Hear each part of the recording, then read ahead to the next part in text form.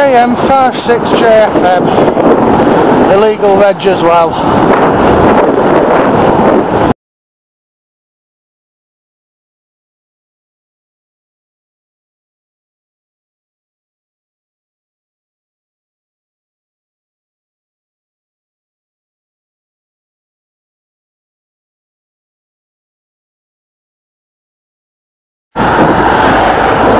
Was there any need for that?